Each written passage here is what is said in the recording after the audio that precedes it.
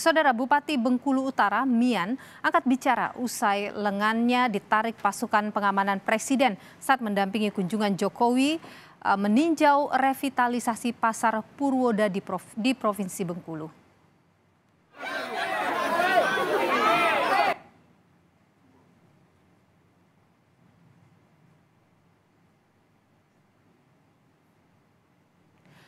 Inilah momen yang terekam ponsel warga saat Bupati Bengkulu Utara Mian ditarik salah seorang anggota Pas Pampres yang sedang mendampingi Presiden Jokowi dan Ibu Negara Iriana berjalan di dalam pasar. Kejadian ini juga membuat kaget Presiden Jokowi.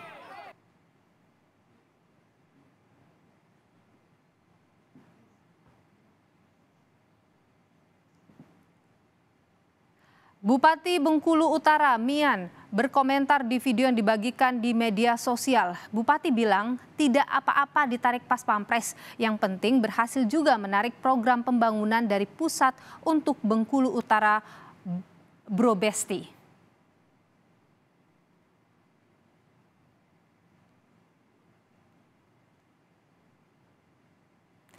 Deputi Bidang Protokol Pers dan Media Sekretariat Presiden buka suara soal video viral Bupati Bengkulu Utara ditarik pas pampres.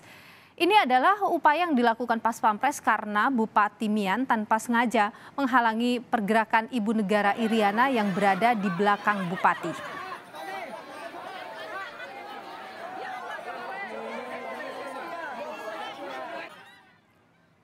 Deputi Bidang Protokol Pers dan Media Sekretariat Presiden B. Mahmudin bilang upaya yang dilakukan pas pampres tersebut dilakukan karena Bupati Mian tanpa sengaja menghalangi pergerakan Ibu Negara Iriana yang sedang berjalan di belakangnya.